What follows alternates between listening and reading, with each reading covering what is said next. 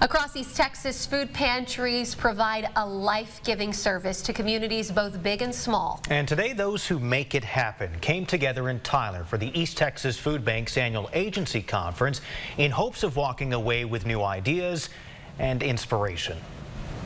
I grew up, I lived on Prosperity Street in Dallas, Texas, but nobody was wealthy on Prosperity Street. Married at the age of 17, Cheryl Jackson and her husband fell on hard times.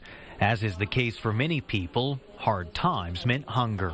I applied for food stamps, and nobody in my family knew that we were even hungry. But with a little help and a lot of faith, things turned around. And now, years later, Cheryl finds herself running one of the largest food pantries in North Texas, named after her mother, Minnie.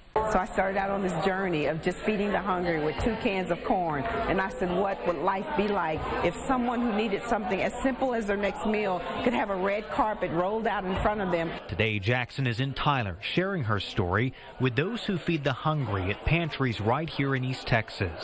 We've got about 200 people registered uh, across our 26 county area, and these are the people that really do the heavy lifting in serving their communities food from the East Texas Food Bank.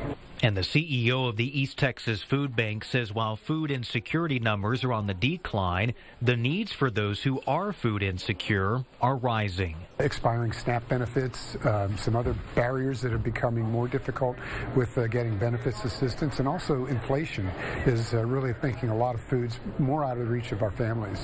And today, the people feeding those families are leaving with fresh ideas and renewed inspiration. All it takes is a heart to help. Uh, I didn't have a blueprint, I had a God print that just says feed the people. And a lot of people, I will tell them that this journey has not been easy. I mean, going through this journey of trying to feed